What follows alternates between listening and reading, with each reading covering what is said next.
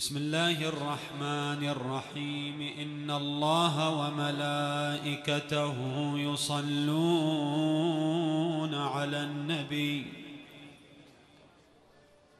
يا أيها الذين آمنوا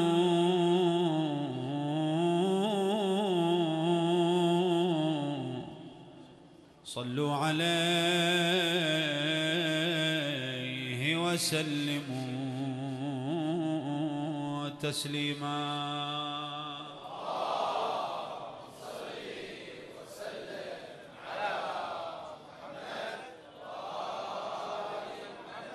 أدم الصلاة على النبي. محمد. فقبولها.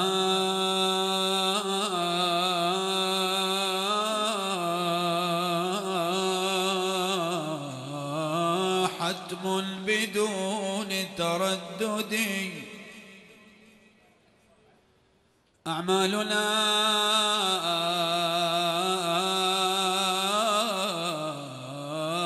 بين القبول وردها.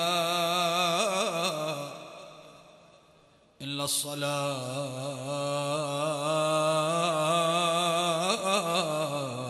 على النبي محمد.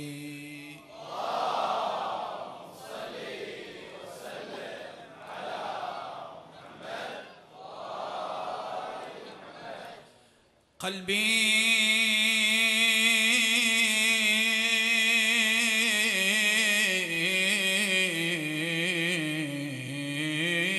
بكم يا آل طه مغرم.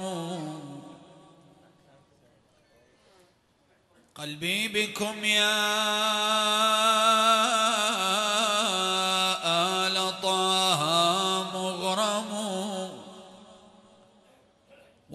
وبحبكم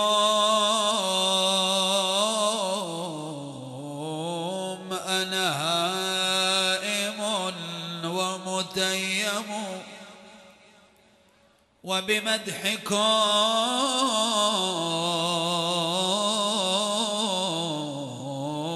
بين الورى أترنم. يا آل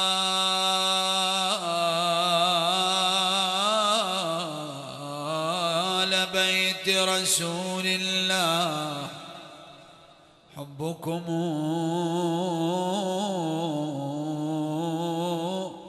فرض من الله في القرآن أنزله.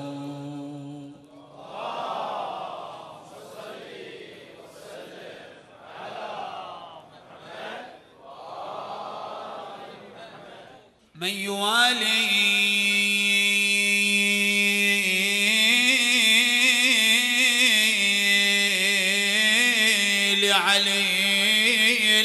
المرتضى.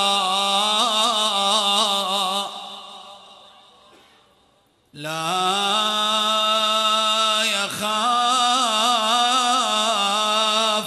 عظيم السيئات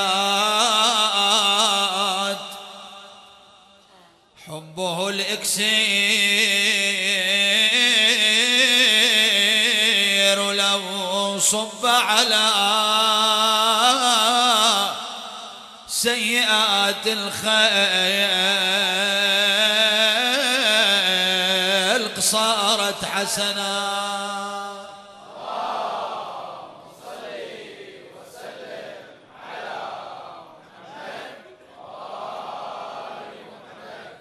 مواهب الله عندي جاوزت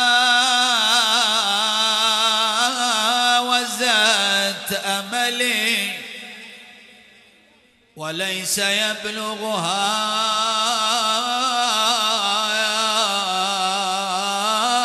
قولي ولا عملي لكن أفضلها عندي.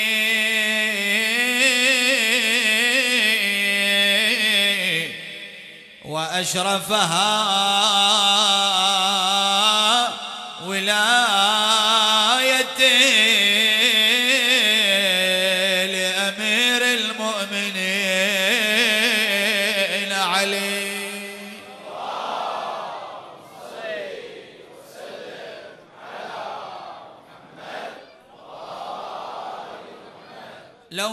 تبوح الروح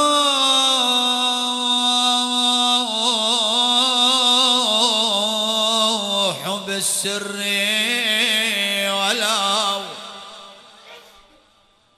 نطق العقل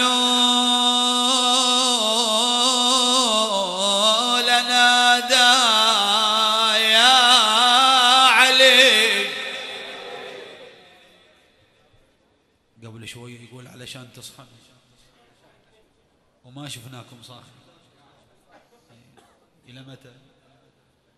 الليلة ليلة التنصيب ليلة خاصة بأمير المؤمنين عليه السلام ليلة الهوية والانتماء. لو تبوح الروح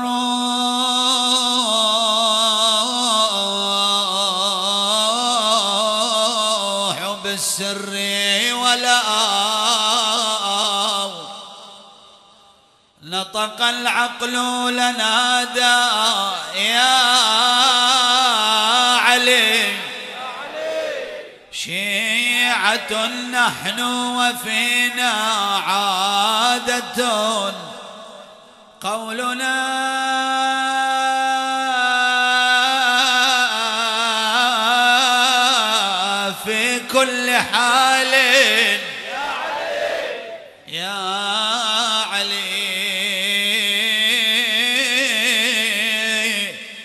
ولنا جاء حديث مسند ويا يعلموا أولادكم.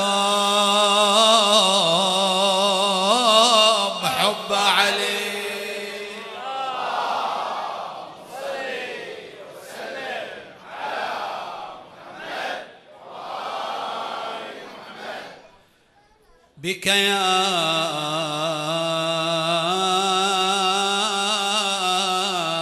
أمير المؤمنين نجاتي. وبحبك الأزلي ذاب رفاتي أنت الذي قد حار ملائك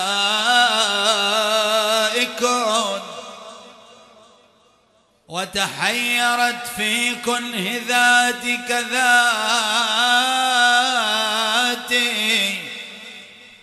الحب فيك عبادة أرجو بها أن تستقيل من العذاب. حياتي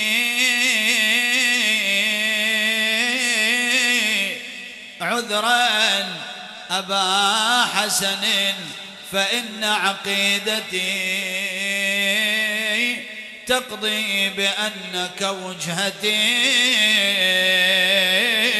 وصلاتي.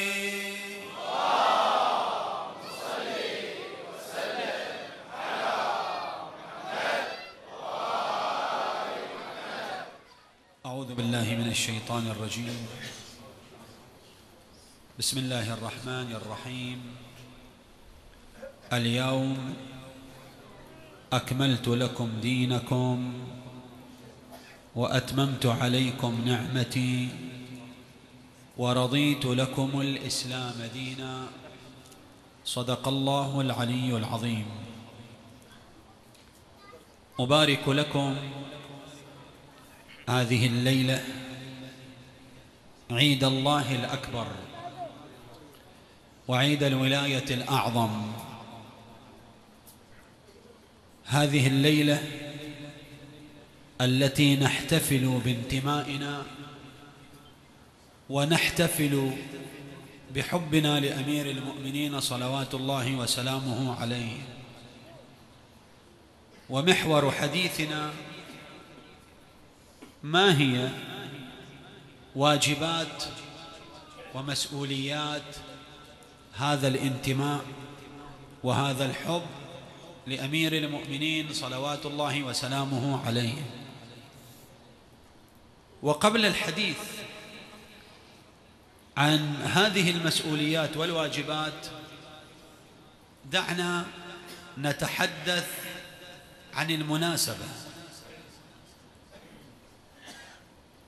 هناك سؤال يقول إذا كانت الامامه بهذه الخطورة وبهذه الأهمية لماذا يتحدث الله تبارك وتعالى عنها في القرآن الكريم بشكل غير مباشر ويتحدث عنها أيضا من خلال آيتين اثنتين فقط؟ هل هذا يدل على أهمية الإمامة وعلى أهمية القضية أم أن هناك أبعاد أخرى لا يمكن للسائل أن يلتفت إليها إلا بعد التأمل؟ لو لاحظنا أن مسألة ذكر القضية وتعددها في القرآن الكريم لا يدل على أهميتها أو لا يدل على خطورتها أو عدم خطورتها. بل ليس له ارتباط بأساس القضية من حيث الأهمية وعدم الأهمية. لأنه هناك في القرآن الكريم ذكرت أشياء كثيرة وهناك أمور أهم منها لم تذكر بتلك العدد بذلك العدد. على سبيل المثال حينما تسأل أي مسلم شيعيا كان أم سنيا أعظم نبي في الوجود وأعظم إنسان في الوجود من هو؟ بطبيعة الحال سيجيب هو رسول الله صلى الله عليه وآله. لماذا الله تبارك وتعالى يذكر اسم محمد مرتين في القرآن؟ محمد رسول الله والآية الأخرى وما محمد إلا رسول. هل هذا تقليل من أهمية النبي؟ وهل هذا تقليل من شأنه؟ إذا كان هذا هو المقياس فأعظم نبي في الوجود هو موسى عليه السلام. لأن أكثر نبي من الأنبياء ذكر اسمه وذكرت قصته في القرآن هو من؟ هو نبي الله موسى. إذا كثرة التعدد في القرآن الكريم ليس له ارتباط بأهمية القضية أو بعدم أهميتها. وإنما المهم في ذلك نوع الخطاب الذي يتناوله الله تبارك وتعالى في في أي قضية. على سبيل المثال حينما نتحدث عن خطاب الله تبارك وتعالى وأسلوبه في التعامل مع قضية الغدير إذا تأملنا في هذا الأسلوب سنصل إلى نتيجة أنه لا يوجد في تاريخ البشرية قضية تعامل الله معها بهذا الأسلوب مثل قضية الغدير. وهذا يعني أن أسلوب تناول الله تبارك وتعالى لقضية الغدير يعتبر أهمية بالغة في القضية ذاتها. إذا المهم في ذلك كيف يتناول الله هذه القضية. إذا ركزنا في الأسلوب القرآني والخطاب القرآني إلى الآية المباركة سنتأمل أن الله تبارك وتعالى تعامل مع قضية الغدير في آيتين وكل آية لها مداليلها ولها أيضا آه، رؤيتها الخاصة في قضية الغدير. دعنا نتحدث عن الآية الأولى والتي يقول الله تبارك وتعالى فيها بسم الله الرحمن الرحيم يا أيها الرسول بلغ ما أنزل إليك من ربك وإن لم تفعل فما بلغت رسالته والله يعصمك من الناس لاحظوا أن هنا في الآية المباركة عدة أمور لا يمكن أن نتجاوزها ولا يمكن أن نمر عليها مرور الكرام. أولها كيف تعامل الله مع نبيه في هذه الآية؟ هذا واحد. ثانيا لماذا التحذير في الآية المباركة وإن لم تفعل؟ فما بلغت رسالته. من المحذر ومن المحذر وما هو الأمر الذي دار حوله التحذير. هذه أبعاد مهمة في القضية. أولا وجدنا أن الله تبارك وتعالى لم يخاطب النبي. شوف أسلوب الخطاب إلى دور في فهم الآية. لما تقول مثلا يا محمد أو تقول مثلا يا فلان وتخاطبه باسمه غير لما تقرأ بالقرآن الكريم يا أيها الرسول. خطاب موجه إلى إلى الرسول باعتباره صاحب الرسالة. هذا أولا.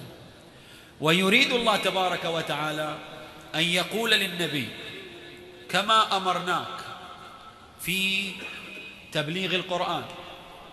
وإيصاله إلى الناس وبيان الأحكام وتفصيلاتها وأمر الناس بعبادة الله تبارك وتعالى. أيضا أن الأمر الذي سنعطيك إياه لتبلغه هو حاله حال القرآن حاله حال الرسالة التي أنزلناها عليك. بمعنى أنك يا رسول الله في هذا الأمر مبلغ موضح مبين شارح هذا الأمر ليس من مختصات أي أحد وإنما الله تبارك وتعالى هو الذي يفرضه على العباد. إذا التفتنا إلى هذه القضية أن الله تبارك وتعالى يفرض على نبيه شيء ويأمره ويقول إليه بلغ. الأمر إذا توجه لي ولك كأن يقول الله تبارك وتعالى أن أقيم الصلاة.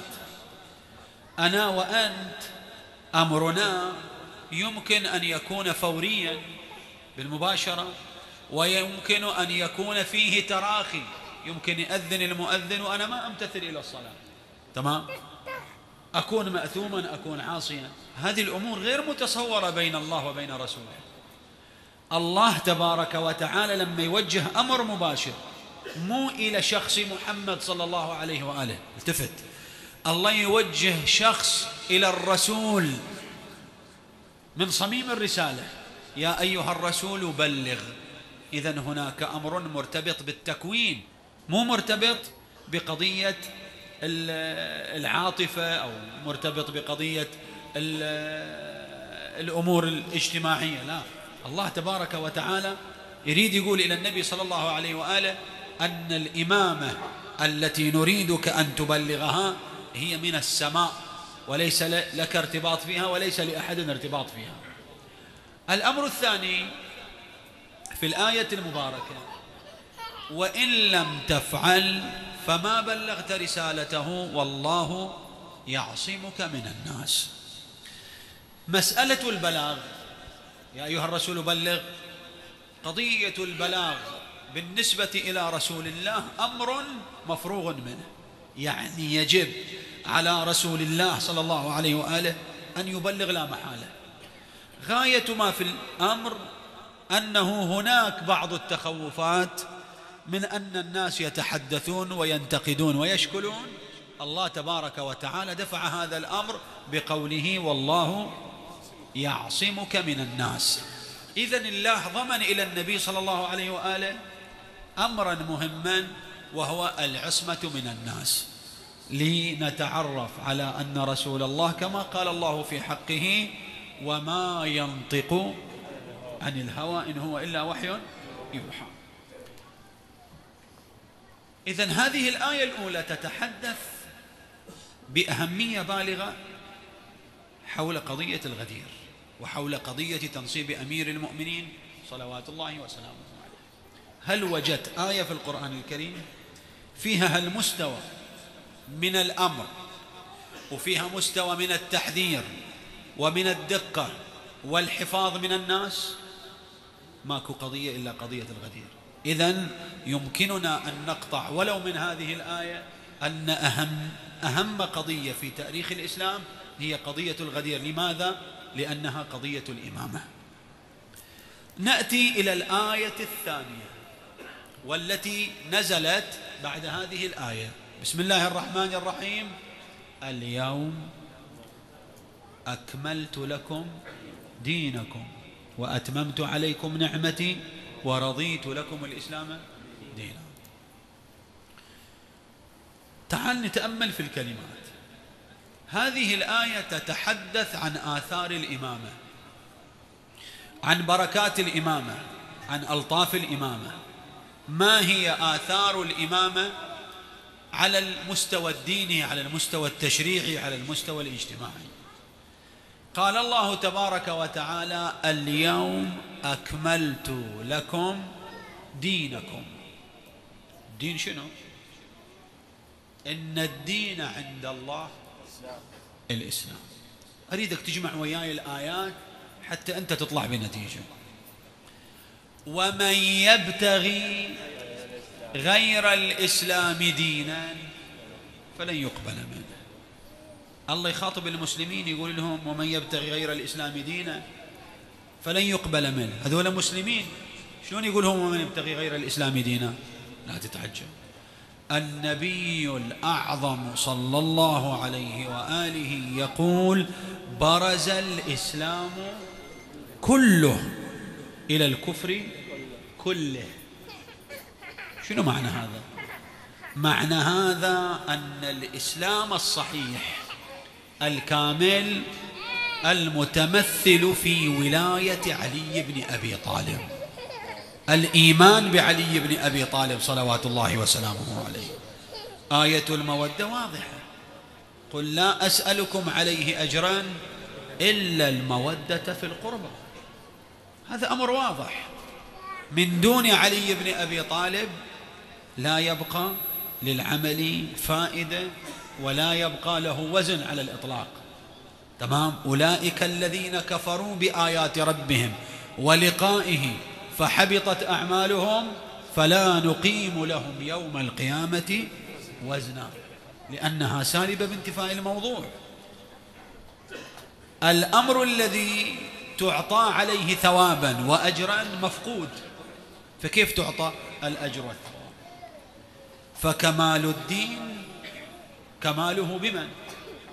بعلي يعني بالإمامة. لذلك الله تبارك وتعالى قال إني جاعلك للناس إماما. قال ومن ذريتي قال لا ينال عهد الظالمين. الإمامة عهد الله. والعهد لا يناله الظالمون وإنما لمن يختارهم الله. يا أيها الرسول بلغ. ما أنزل إليك من ربك. اختيار الله تبارك وتعالى. وأتممت عليكم نعمتي. ورضيت لكم الإسلام دينا. تمام النعمة بماذا؟ اللهم عرفني نفسك. فإنك إن لم تعرفني نفسك لم أعرف رسولك. اللهم عرفني رسولك. فإنك إن لم تعرفني رسولك لم أعرف حجتك. اللهم عرفني حجتك. فإنك إن لم تعرفني حجتك ضللت عن ديني. أكبر نعمة أن الله تبارك وتعالى يهديك إلى الطريق الصحيح. وأكبر ابتلاء أنك ترى الطريق الصحيح ولا تستطيع أن تسير عليه. وأتممت عليكم نعمتي أتممتها بالإمامة التي هي الحجة البالغة في زيارة أمير المؤمنين صلوات الله وسلامه عليه. الصادرة من أنفاس سيدنا ومولانا زين العابدين عليه السلام والتي تعتبر من أقوى الزيارات متنا وسندا وهي زيارة أمين الله. السلام عليك يا أمين الله في أرضه وحجته على عباده. شو شنو هالكلام هذا اللي صادر من الإمام المعصوم؟ أمين الله في أرضه. أي أرض؟ تلك التي قال عنها الله إني جاعل في وين؟ في الأرض. ونجعلهم ونريد أن نمن على الذين استضعفوا في الأرض. أي أن الأرض التي لا تخلو من حجة الزمان والمكان اللذان لا يخلوان من حجة هو المقصود في هذا المورد. فتمام نعمة الله تبارك وتعالى هو أننا متى ما سرحنا النظر في كل زمان ومكان رأينا حجة الله القائمة والبالغة. بعد هذا البيان ما هي مسؤولياتنا وواجباتنا تجاه هذه أو هذا الانتماء وهذا الحس وهذا الحب؟ سنتعرف على هذا الأمر من خلال أعمال يوم الغدير. طبعا لن نتحدث عن الأعمال المشتركة مع بقية الأيام كاستحباب الغسل والصوم وزيارة الحسين عليه السلام. هذه كلها أعمال مشتركة. وإنما سنتحدث عن عمل من عمدة الأعمال في يوم الغدير والذي هو واحد من الواجبات والمسؤوليات الملقاة علينا والتي سنسأل عنها وسنعاقب عليها وهي المؤاخاة. أنت حينما تصافح أخاك غدا في يوم الغدير ماذا ستقول له؟ آخيتك في الله وصافيتك في الله وصافحتك في الله وأسقطت عنك جميع حقوق الأخوة. هذا الكلام ما مفاده.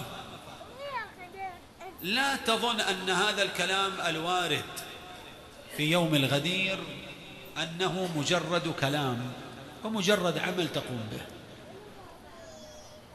وأنت تقول عاهدتك.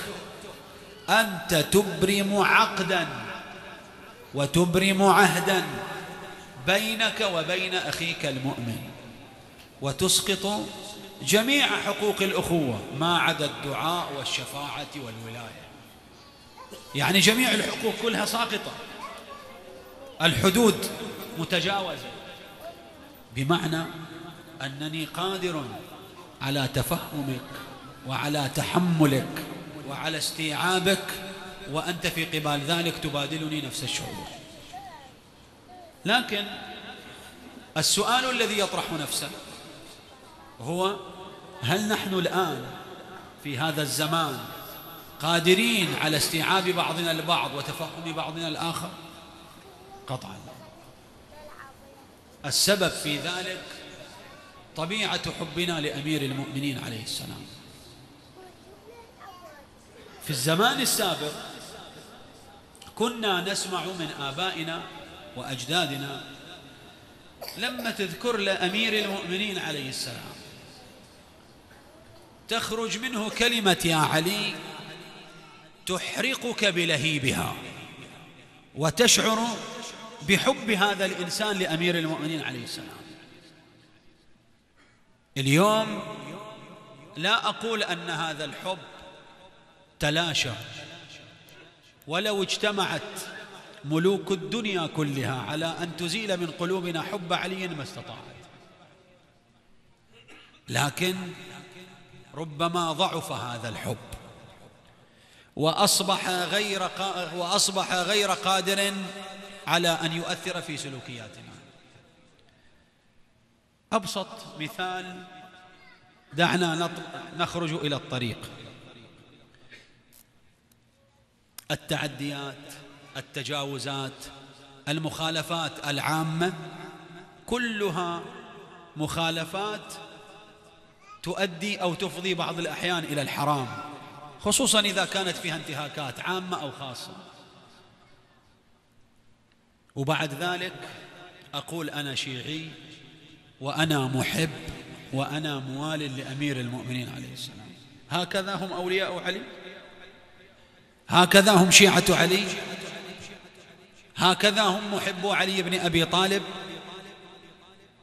الحارث الهمداني يدخل على أمير المؤمنين بالمسجد وهو يتكئ على الجدار من الكبر. وقد اخضلت لحيته بدموع عينيه. يلتفت إليه أمير المؤمنين. أيها الحارث لماذا تبكي؟ اسمع الجواب. واستفد من هذا الحب. قال أبكي حسرة عليك. قال ولم حسرة علي؟ قال لأنني إذا مت سوف أحرم من النظر إلى وجهك. الدنيا التي ليس فيها نورك وليس فيها أنت. المكان الذي لا يوجد فيه أنت. فعلا أشعر بالحسرة وأشعر بالألم. تبسم أمير المؤمنين ووضع يده على كتفه. قال له أيها الحارث إني أحضر لك عند الاحتضار والقبر والقيامة. يا حار همدان من يمت يرني من مؤمن أو كافر قبلا. تراني يا حار همدان. فتبسم. قال له يا أمير المؤمنين أما بعد الآن لا أبالي أمت الساعة أم غدا؟ درجه من الاطمئنان ومن الانقياد إلى أمير المؤمنين صلوات الله وسلامه عليه. إذا كان عندنا هذا الحب وإذا كان عندنا هذا الولاء وهذا الانتماء سوف نتجاوز كثير من العقبات. سوف نتحمل بعضنا البعض. سوف نكون يدا واحدة. ونحن اليوم أكثر من ذي قبل نحتاج إلى أن نكون كلمة واحدة ويدا واحدة وموقفا واحد ونملك حبا واحدا وانتماء واحد وحسا واحد وهو حب أمير المؤمنين صلوات الله وسلامه عليه. ألسنا نقرأ في أحاديث رسول الله صلى الله عليه وآله عنوان صحيفة المؤمن حب علي. لا يمكن أن يفرغ قلب المؤمن من حب علي بن أبي طالب. رحم الله من ذكر القائم من آل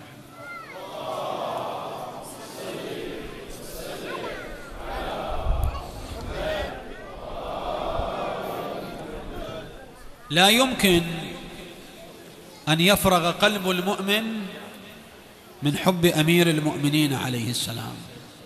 لماذا؟ لأن عنوان هذا المؤمن حب علي. الإيمان وحب علي أمران متلازمان. ماذا يقول بوليس سلامة؟ يقول لا تقولوا شيعة هواة علي.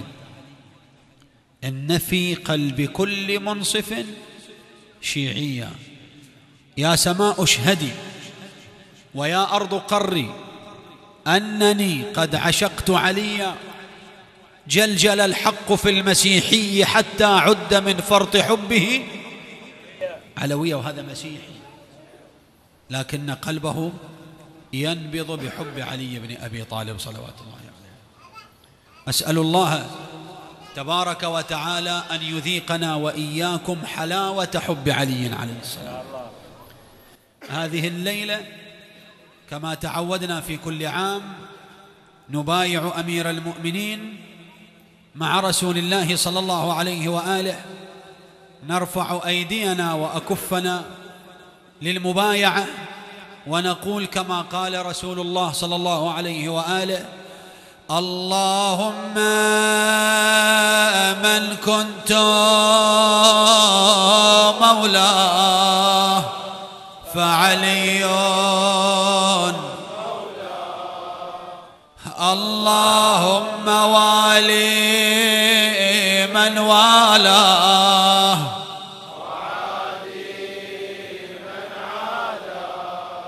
اللهم والي من والاه.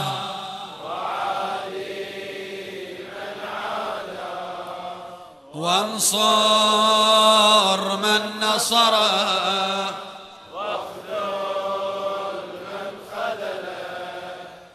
وأدر الحق معه.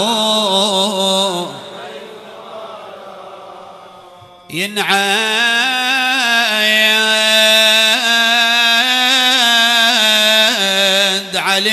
صار يوم الفرح. ينعاد.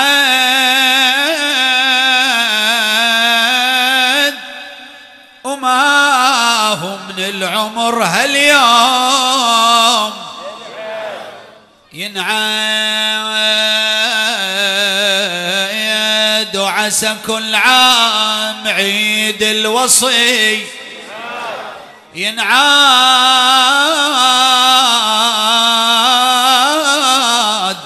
وتفرح بالشيعة الجعفرية.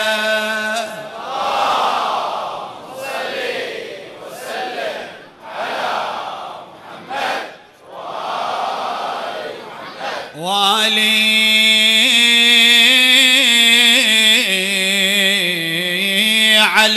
نصب من الجبار.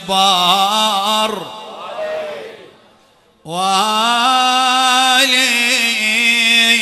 ولهي اللي تريد تفوز. وآلي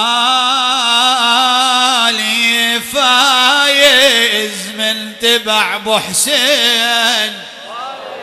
واللي نكر هالبيع أمه ناصبية.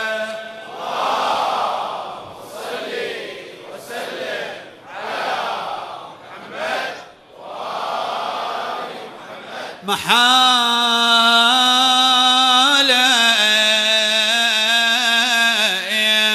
أعوف ولايتك حيدر. محالة لن حبك وسط قلبي. محلة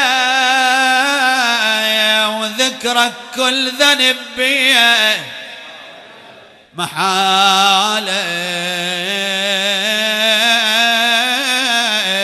وحبك سيدي.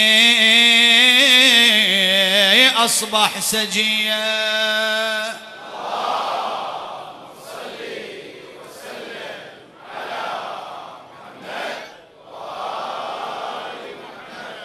صاحبك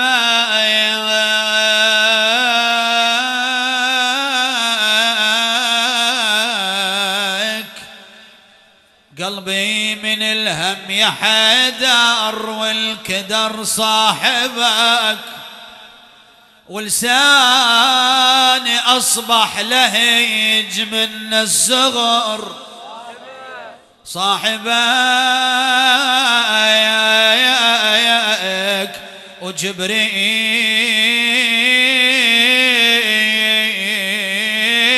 وسط السما يا أبا الحسن. صاحبك حبك سفينة يا حيدر للغرق. تحمله واللي تنخاك يا حامل حماه تحمله واللي ظلم شيعتك نار اللظى. تحمله ومعروف يا سيدي ما قد خسر صاحبه.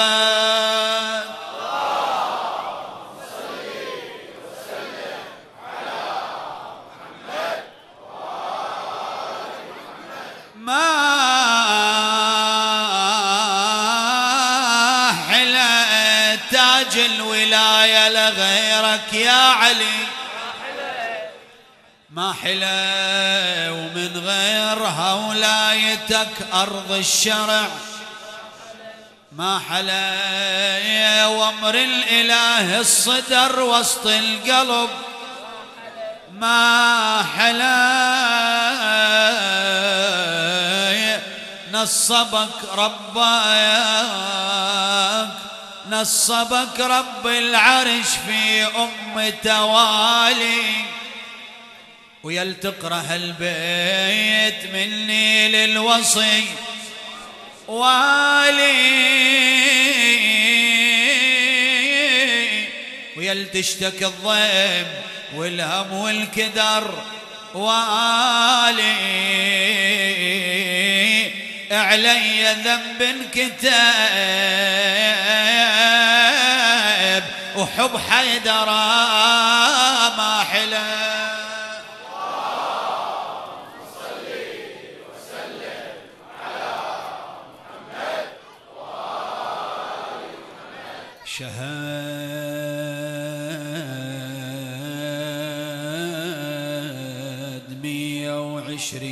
وعشرين ألف والخم غديرة. شهاد واسمك يا أبو حسين علسان الموالي. شهاد وأنا بالأصلاب عودي بالولاية. شهاد قلب الموالي.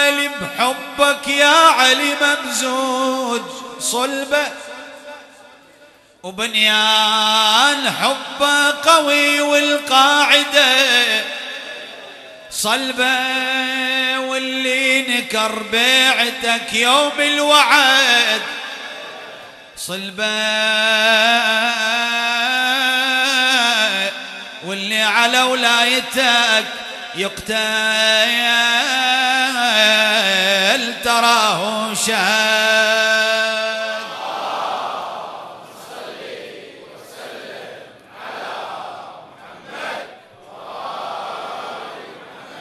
صحيح الورد زاج الطيب لكن ما سمعنا يدوم.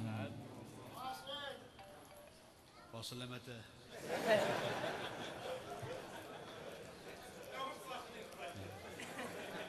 ديزل ده مو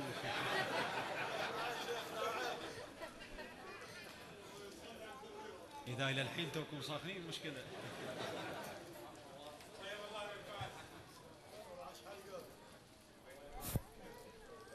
عشان أذكرها بس. صحيح الورد زاج الطيب لكن ما سمعنا يدوم صحيح